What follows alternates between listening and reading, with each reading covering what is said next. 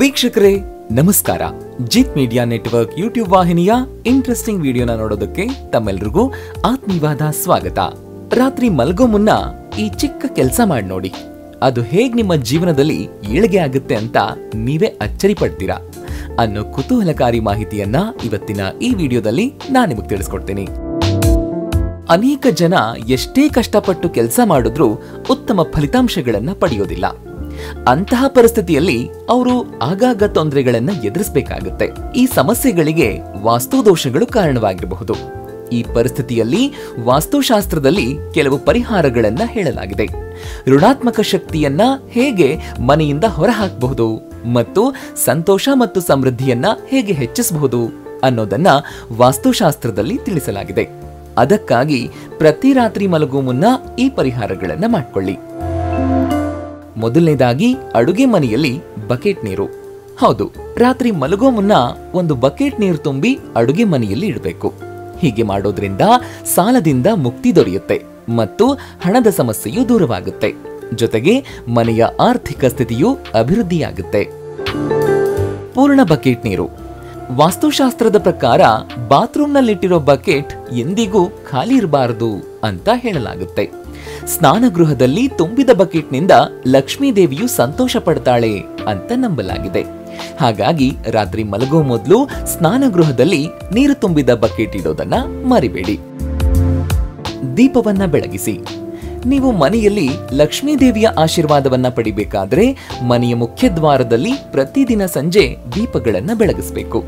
ಇದರ ಜೊತೆಗೆ ಮುಖ್ಯ ಬಾಗಿಲಿನ ಮೇಲೂ ಕೂಡ ದೀಪವನ್ನ ಬೆಳಗಬೇಕು. ಮಲಗೋ ಮುನ್ನ ಕೈ ಕಾಲು ಬಾಯಿಯನ್ನ ತೊಳ್ಕೊಂಡು ಮಲಗಿದ್ರೆ ಕೆಟ್ಟ ಕನಸುಗಳು ಬೀಳೋದಿಲ್ಲ. ಅಲ್ಲದೆ ನೀವು ಮಲಗೋ ಹಾಸಿಗೆಯನ್ನ ಸ್ವಚ್ಛವಾಗಿರಿಸಿಕೊಳ್ಳೋದು ಅವಶ್ಯಕ. ಹಾಳೆಗಳು, ದಿಂಬುಗಳು, ಹೊದಿಕೆಗಳು ಇತ್ಯಾದಿಗಳು ಸ್ವಚ್ಛವಾಗಿರೋ ಹಾಗೆ ನೋಡ್ಕೊಳ್ಳಿ. ಮುರಿದ ಅಥವಾ ಹಾಳಾದ ಹಾಸಿಗೆಯ ಮೇಲೆ ಎಂದಿಗೂ ಮಲಗಬೇಡಿ. ಯಾವಾಗಲೂ ಅಡುಗೆ ಮನೆಯನ್ನ ಸರಿಯಾಗಿ ಸ್ವಚ್ಛಗೊಳಿಸಿ ಮಲಗಿ. ಅಡುಗೆ ಮನೆಯಲ್ಲಿ ಕೊಳಕು ಪಾತ್ರೆಗಳನ್ನ ಎಂದಿಗೂ ಹಾಗೆ ಬಿಡಬೇಡಿ. ಮಲಗೋ ಮುನ್ನ ಎಲ್ಲ ಪಾತ್ರೆಗಳನ್ನು ಕೂಡ ಶುದ್ಧವಾಗಿ ತೊಳೆದು ಇಡಬೇಕು. ನಿಮ್ಮ ಪಾದಗಳನ್ನ ಬಾಗಿಲಿನ ಕಡೆಗೆ ಇಟ್ಟು ಮಲಗಬೇಡಿ. ಮನೆಯ ಬಾಗಿಲನ್ನ ಲಕ್ಷ್ಮಿಯ ಪ್ರವೇಶ ಅಂತ ಪರಿಗಣಿಸಲಾಗುತ್ತೆ. ಇದು ಲಕ್ಷ್ಮಿಯನ್ನ ಅವಮಾನಿಸಿದಂತೆ. ಎಂದಿಗೂ ಈ ತಪ್ಪನ್ನ ಮಾಡಬೇಡಿ. ಕೋಣೆಯಲ್ಲಿ ನವಿಲುಗರಿ ಇದ್ರೆ ಇನ್ನೂ ಒಳ್ಳೆಯದು ಮಲಗೋ ಮುನ್ನ ನಿಮ್ಮ ಆದಿದೇವತೆಗಳನ್ನ ಸ್ಮರಿಸಿ. ಹೀಗೆ ಮಾಡೋದ್ರಿಂದ ಒಳ್ಳೆಯ ನಿದ್ದೆ ಬರುತ್ತೆ. ಮತ್ತು ದೇವಾನುದೇವತೆಗಳ ಆಶೀರ್ವಾದ ಸದಾ ನಿಮ್ಮ ಮೇಲಿರುತ್ತೆ. ಇನ್ನು ಮಲಗೋ ಮುನ್ನ ಎರಡು ರೂಪಾಯಿ ನಾಣ್ಯದಿಂದ ಈ ರೀತಿ ಪರಿಹಾರವನ್ನ ಮಾಡ್ಕೊಳ್ಳಿ. ಎರಡು ರೂಪಾಯಿಯ ಪರಿಹಾರವನ್ನ ನೀವು ರಾತ್ರಿ ವೇಳೆ ಮಾಡಬೇಕು. ಯಾವುದೇ ವಾರ ಇದನ್ನ ಮಾಡಬಹುದು. ಆದ್ರೆ ಶುಕ್ರವಾರ ಮಾಡಿದ್ರೆ ತುಂಬಾ ಶ್ರೇಷ್ಠವಾಗಿರುತ್ತೆ. ಯಾಕಂದ್ರೆ ಶ್ರೀ ಮಹಾಲಕ್ಷ್ಮಿಗೆ ಶುಕ್ರವಾರ ಅಂದ್ರೆ ಬಹಳ ಪ್ರಿಯ.